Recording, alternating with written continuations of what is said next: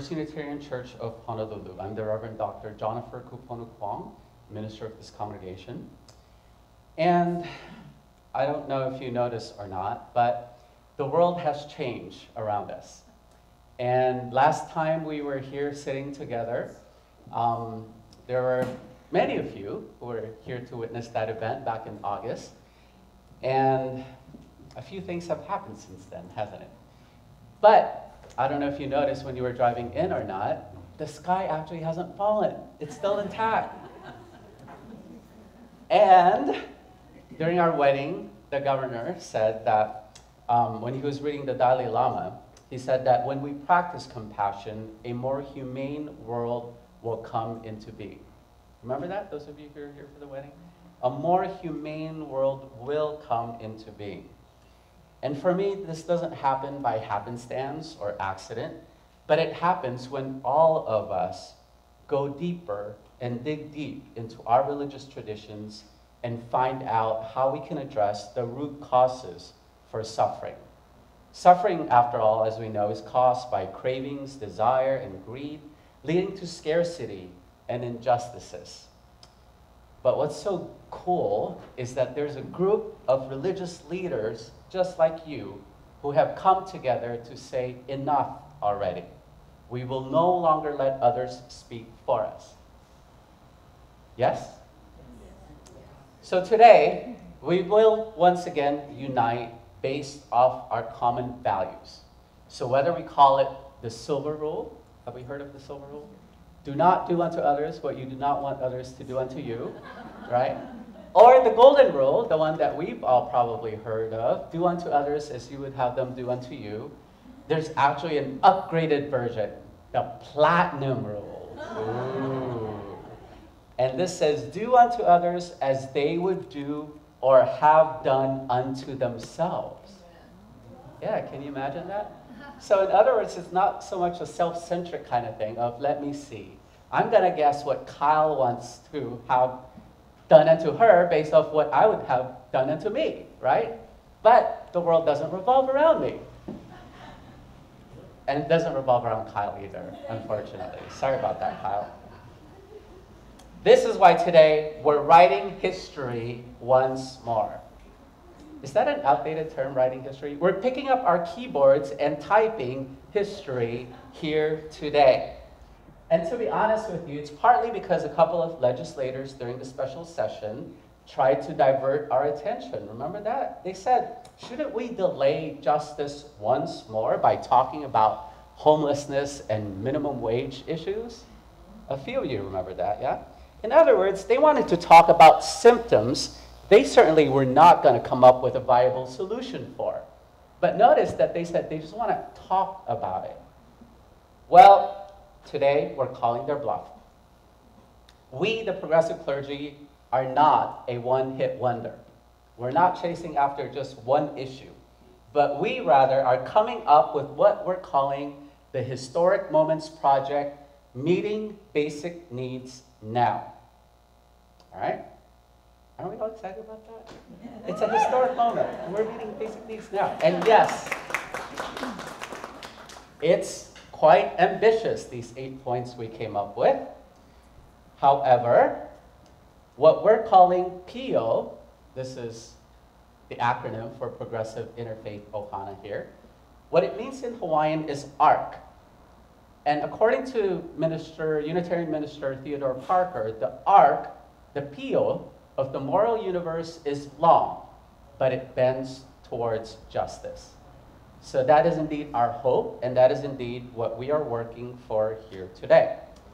So before we continue with the program, I'd like to thank a few sponsors who have made today possible, people who have um, who help pay for the sustainable and healthy food that we're about to have, um, and also this expensive blown up poster from FedEx office. And and we want to thank the Reverend Liz Zivanov from the parish of St. Clement in Makiki, and also Pastor Danette Kong from Maui, and Sister Dr. Joan Chatfield, um, who's here today, and also the Reverend Irene Matsumoto from the Palolo Kwannon Temple, who is also here today. So let's give them a round of applause.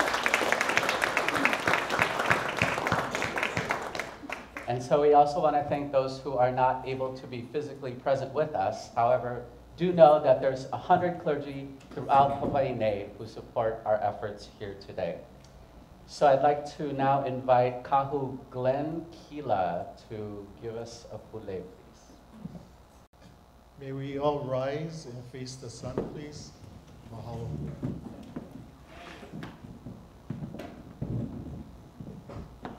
Nau kua mai kalihiki a kalakau mai ka kui a ka halawai.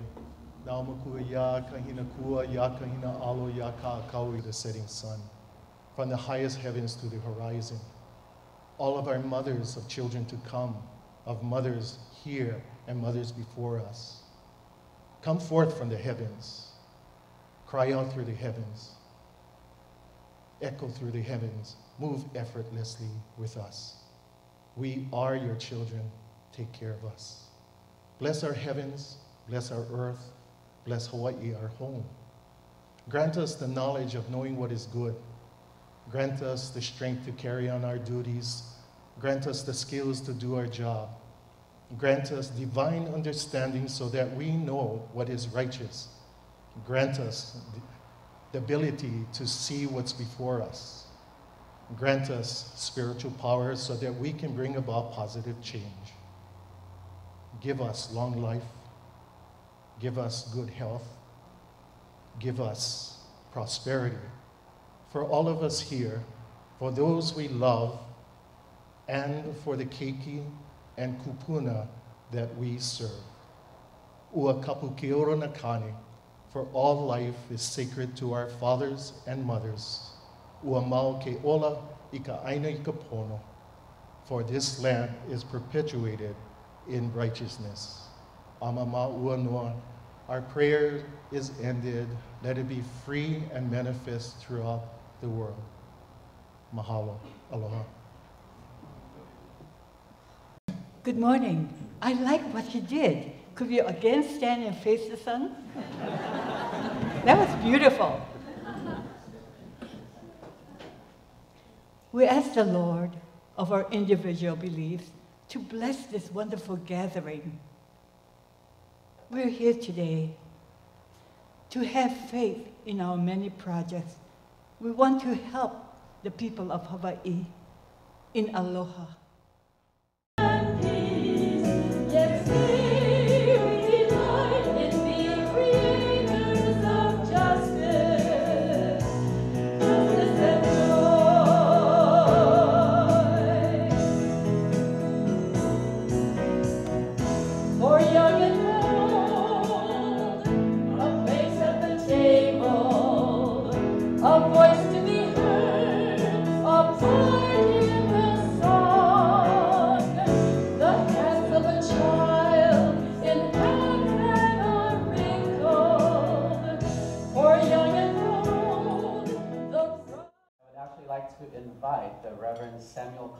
To say a few words. As some of you may know, Samuel is the recipient this year of Church of the Crossroads um, Reverend Dr. Martin Luther King Jr. Peacemaker Award.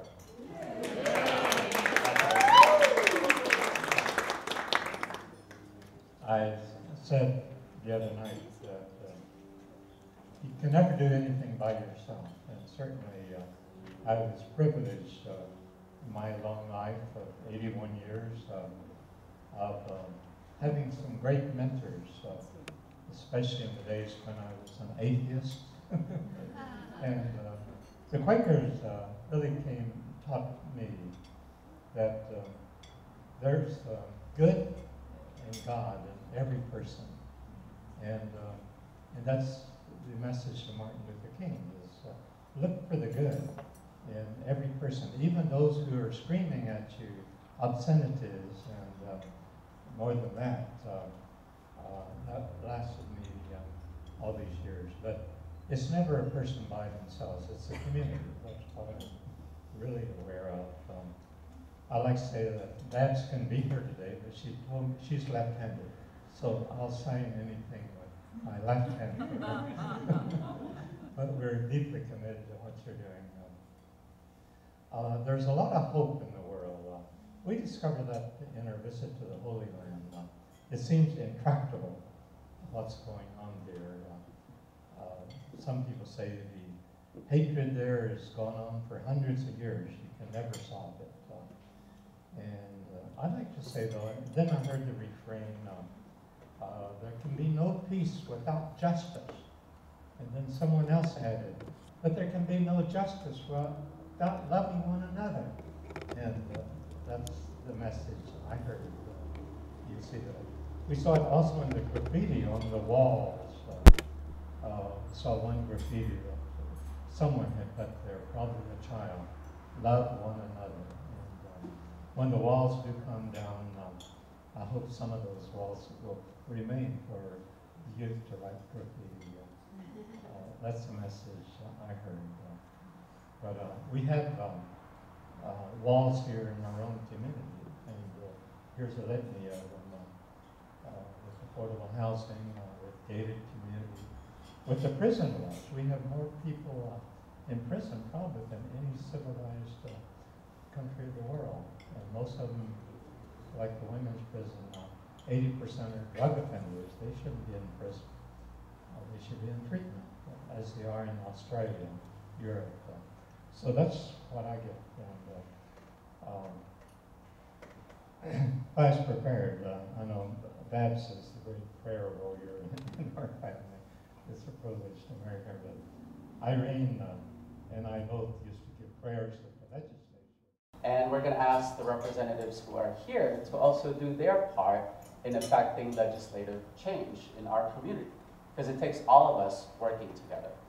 And so, as you may have noticed around you, we have uh, four House of Representative members here today, and they're all part of what's called, what's called the Future Caucus. And this is a bipartisan group, and so we're not playing favorites here or anything. Um, and so um, I'd like to introduce them, and they'll be saying a few words here and there um, in, the, in, in, the following moments here. But um, I'd like to just um, have them rise, please in body and spirit as they're able, as I call your name. Representative Chris Lee.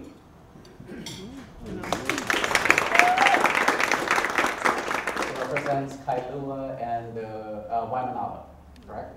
And sitting next to him is Representative Kaniela Ing from South Maui. And let's see, Representative Nicole Lowen from the Big Island.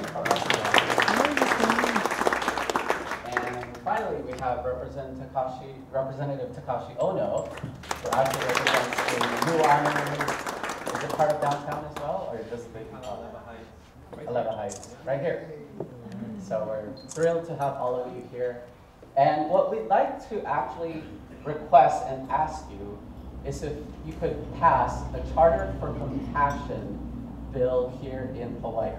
So as many of you know, uh, cities like Seattle and Louisville, Kentucky, of all places, are also are already known as compassionate cities. And so wouldn't it be great that not only are we known as the Aloha State, we're also known as the compassionate state, which is really just a synonym for each other. Um, so for those of you who don't know, the Charter for Compassion was um, written by a group of people and spearheaded by Karen Armstrong, who is a wonderful author and in many ways a theologian in her own right. Ms. Lee, would you like to say a few words?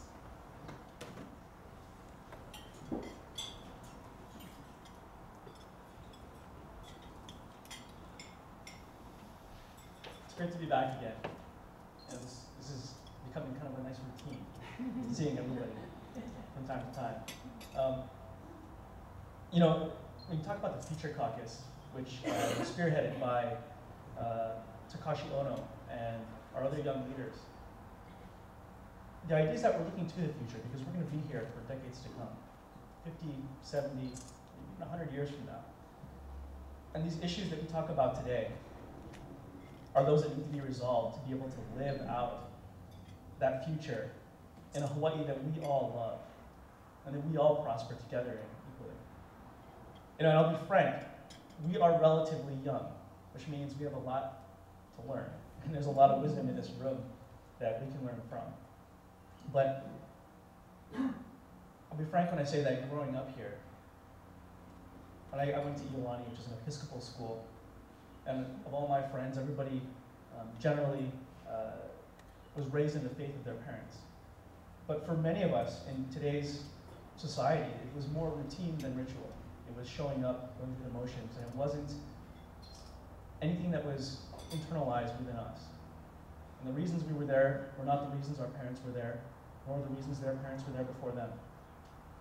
And it was especially evident, I think, in the battles where you have generational shift, whether it was marriage equality this past time or the 98 Conam before that, when you had the religious community as a whole come out on very narrow issues at times, which weren't relevant to the generation that was being raised here at the time.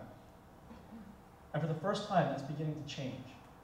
And an understanding that bridges faith and the values inherent therein with the society around us and the tangible results we see with our neighbors and friends are finally coming together for a lot of us, for myself, who never understood the connection between the two before.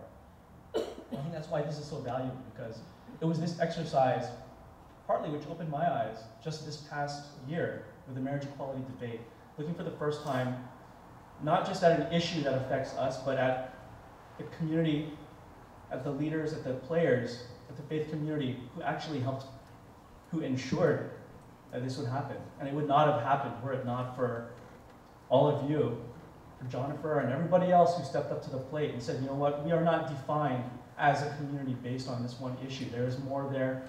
We have compassion, we have respect, and we have an understanding that together we live, whether we agree with each other or not. But hearing for the first time, uh, for a lot of my friends, especially early on, that you know, the typical stereotypical block of, of just religious faith community was not automatically opposed to this, which had been kind of the norm and the understanding for our generation for so long was enlightening. And that is what really allowed, I think for the first time, this bill to move and this issue to have, have passed. Is that for the first time, people are stepping up to the plate and the community is getting involved in issues that previously, it's not that religious leaders weren't involved, but it's that from our perspective, we didn't see it because there were different issues than the ones that our next generation tended to be involved in.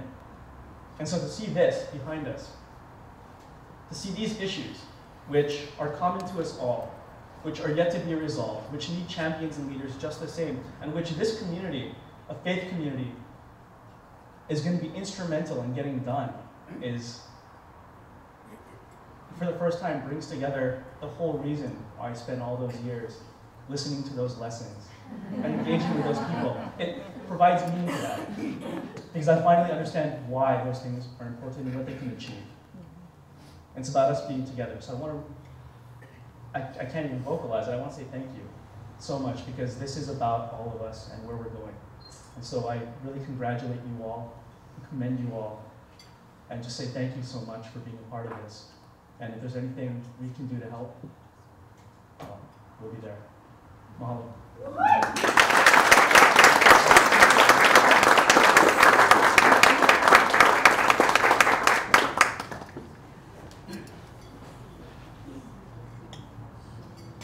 Aloha, as mentioned, my name is Takashi Ohno. Welcome to District 27. It's a great place to be. Um, you know, um, there are a number of us here, a couple of us are freshmen, and one of the questions that's often asked of us um, is why we decided to run for office. And as I look behind me, I look at many of the reasons that answer that question.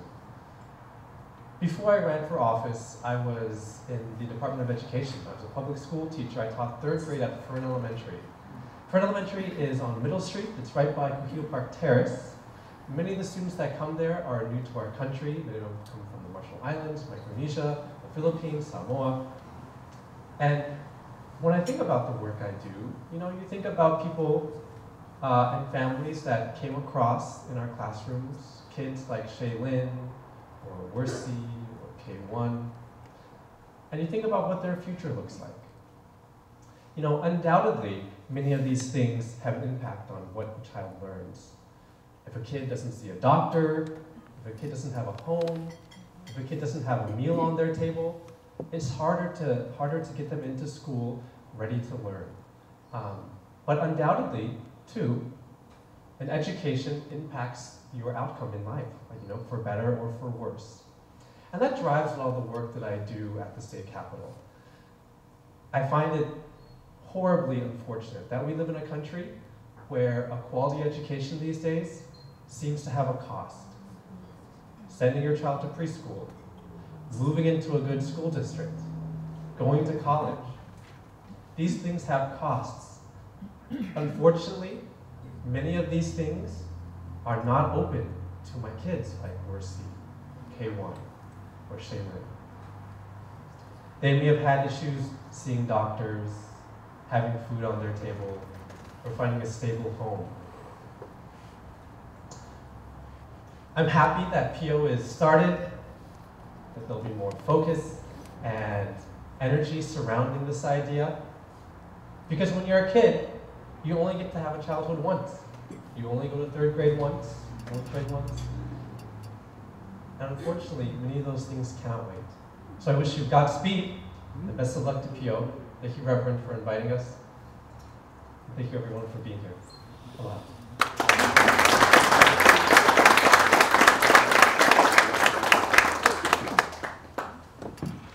I'd like to invite Diane back once again to help lead us in singing the song Standing on the Side of Love. So why don't we do that? Why don't we rise and body here to play both? Stand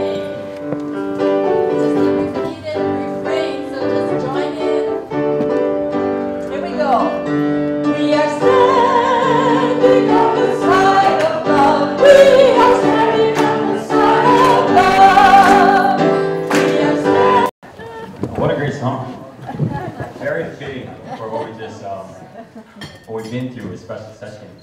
But uh, what an honor it is to be here today for this uh, great occasion and, um, you know, launching this, this program, PI'O. I think it's uh, incredible that we can all come together despite uh, our, any type of um, ideological differences. I remember uh, as a child, I was a, my family was born again Christians. My father was very dogmatic in the way he taught us religion. And I also, I was a very, um, I had a lot of questions. I was the type of child who always asked why. And, you know, why, why do we need to abide by these certain rules? Um, what's the significance of it? What about people that are from other places, China, um, Africa, that aren't exposed to the type of teachings that we are here? What if culturally, what we know can't even be interpreted in their languages? As I got older, these questions became more and more complex. My father would always answer with, "There's an absolute truth," and um, but finally, around 11 uh, years old, when I was 11, my father just he, he caved in and said, "You know what, Kaniela, I think um, I think it's it's all about just being together and realizing that um, there's something higher than us, and we need to be seeking for that divinity as humans and accept that despite any uh, differences we have among each other, if we focus on helping one another through compassion, altruism, and ultimately aloha, then we will see higher purpose. And um, you know that was, that's where he that was some of his last thoughts that he gave to me before um, leaving this planet. So I carried that with me throughout my life and now throughout my short tenure so far as a representative. Um, I think the special session, as Chris mentioned, was a real um, dividing line, not just in the community, but in as a whole, but in the faith community as well. But I think now that it's over, it's time that we can all um, get together and unite, and I think this is exactly what PI'O is all about. So um, I, I found it very unfortunate that despite all the things that, you know, I, I brought up learning that Jesus did, and Buddha and everybody else, um, you know, take care of the, the people less fortunate than you, um, the, children, get the opportunity to grow and have opportunity to succeed uh, in life, whether it's financially or, um, or, just to care for a, family and, and these types of things, people that aren't uh, as privileged as we are to, to take care of them. These are the things that, that the gospel focused on, that I grew up with. But for some reason, um, faith communities were honing in on this litmus test based on sexuality, which to me was a little bit bizarre. I did not understand exactly why there was so much emphasis placed on that. And now that that issue is done, we can move on to things that we actually, um, that I think all our, all religions across Hawaii at least are rooted in. So, um, yeah, thank you again so much, Jennifer. It was um, an honor to, to be at Jennifer's wedding earlier um, last year. That was uh, what an amazing experience. Uh, we're working on a lot of things this year. One, one push will be um, early education uh, for uh, preschoolers to give them the opportunity. And you know, Takashi Ohno, it- it's been a big focus of his, and he's he's been really working on uh, educating the rest of the members, including myself. So um, you know, have his back and uh, and ask him a lot of questions because he's he's like a walking encyclopedia. of this guy. Thank you. So much for inviting uh, me to join you today. And this is uh, my first time here, so it's an honor to be here. I couldn't make it to some of the other events or to the wedding. My, um, I'm a- my name is Nicole Lowen, and I'm a state representative from over on Big Island, so it's a little bit harder for me to stay over here on weekends and things like that. Um, but it does feel very much like coming home, because actually when I was growing up, we went to Unitarian uh, services sometimes. And um, I guess I just, just want to say, since I haven't been here before, throughout special session, it was a really difficult time and a difficult process to sit through. And I haven't had the chance to thank everyone here for how much it meant to us to have your support and how much it helped us get through the difficulty of that, um, to know that there's people from the faith community standing behind us, and to have that, that positive voice um, out there. So thank you uh, very much for that. And in the end, justice did prevail. And despite some of that negativity that we had to sit through, I think a very positive outcome was bringing this group together, PI'O, uh, Progressive Interfaith Alliance. And uh, I'll, I'll keep it brief, but I guess I just want to say I wholeheartedly support um, this basic needs agenda and look forward to working with you in, in whatever way we at the legislature can help to move this agenda forward um, in the future and, and work towards furthering justice and equality in Hawaii. And I guess I'll just finish with some words from Martin Luther King Jr. since we all just celebrated his uh, 85th birthday last week. Um, so as we work towards this agenda in the future, let's remember that injustice anywhere is a threat to justice everywhere. So thank you all again, and aloha.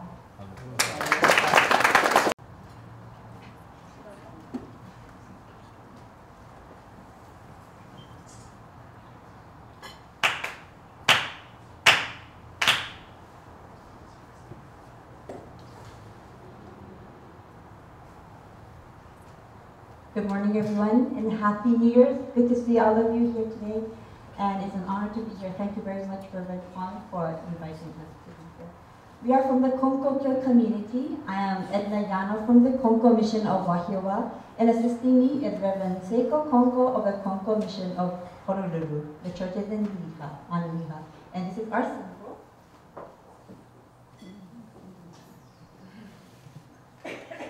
And I would like to start with a prayer, but before that, I really like how we face the sun. And I'm not going to tell you to stand up and do that again, but I thought that was very special and very touching. Uh, because if we wanted to meet the divine, all we have to do is step outside, look up, the sky above is coming, and the ground below is coming. We are surrounded by tremendous blessings and powers of the universe, and that is our uh, divinity. I'd like to start with a prayer to our founder and our Ikigami Konko Daijin and Tenchi Kane Kami-sama. Ikigami Konko Daijin sama Tenchi Kane no Kami-sama. Ikigami Konko Daijin sama Tenchi Kane no Kami-sama. The religious leaders of the Progressive Interfaith Ohana gather here at the First Unitarian Church of Honolulu this morning in this morning prayer. We seek your guidance and acknowledgement that what we are doing is the right thing to do.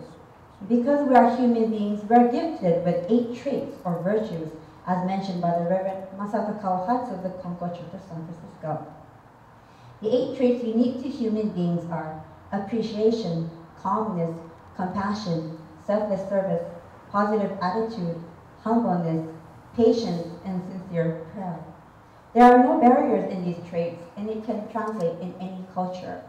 Let these traits be especially heightened in each of us so that we can help to create a positive change in the state of Hawaii.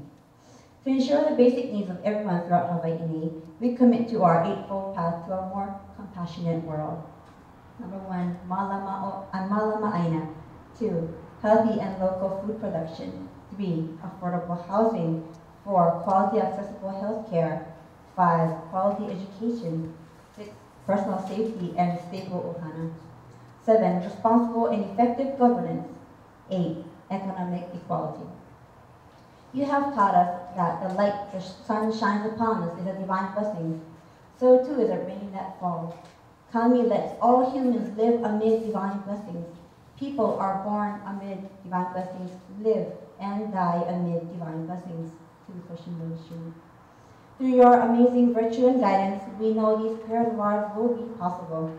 Please allow us to put our hearts together to create a world of harmony, compassion, and kindness.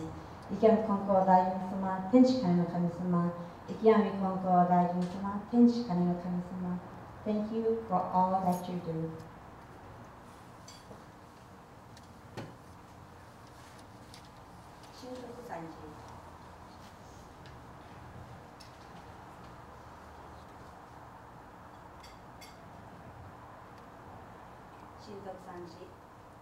仰ぎ祭れば天高く仰ぎ祭れば天高くおろがみ祭れば血は厚し神の恵み。飾るるみの幸いとありがたき運愛ひがみの御取り次ぎとひもかくる時のなく天地の神の御守陶器近きの隔てなし寛一慈しみはよろずよにあまねく道で果てしなく勘計らいはくす。しくで人の思いのよががる我ら今月今日やれ祭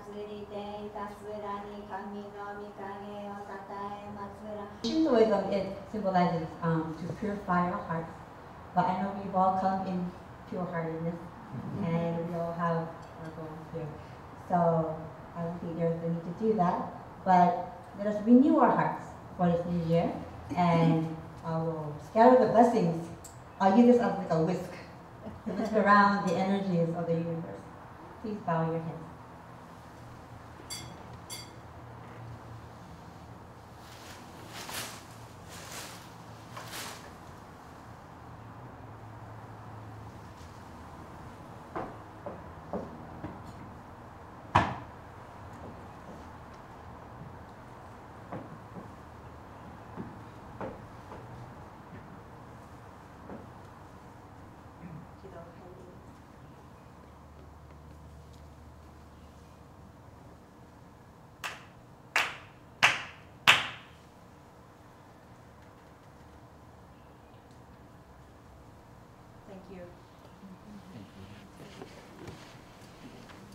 I'm going to invite the Reverend Amy Wake and uh, Sister Dr. Joan Chatfield and Father Drew Kovac from the Inclusive Orthodox Church. Please come on forward and read the statement for us.